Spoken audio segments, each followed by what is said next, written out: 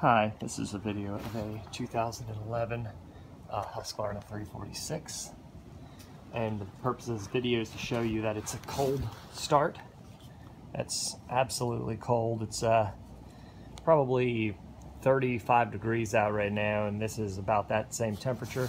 I just cleaned up the saw, I sharpened the chain.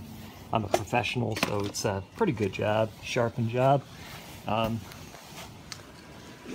this this saw I've been running this saw since it was new and uh, it doesn't run perfectly anymore but everything's here and recently we went through this whole saw and replaced the top cover and the chain catch as you can see here and several other parts spark plug everything.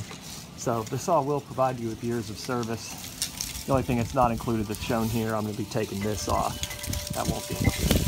So anyway I'm going to start the video and show you that it does start or I mean continue the video by showing you that does start. Hopefully it'll stay in frame. I don't have anything to hold my phone. Alright, right there.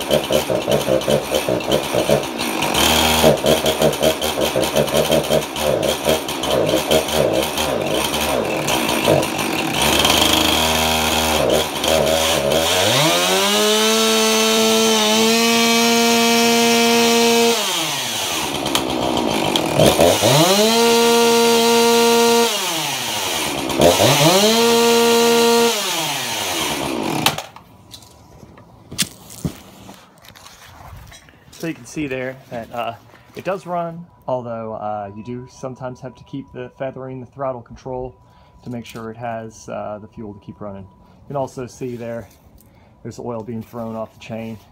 Saw's in good condition. It's not in uh, perfect condition, most definitely, but I do believe it'll continue to work for a long time for whoever buys the saw. Thanks for your time.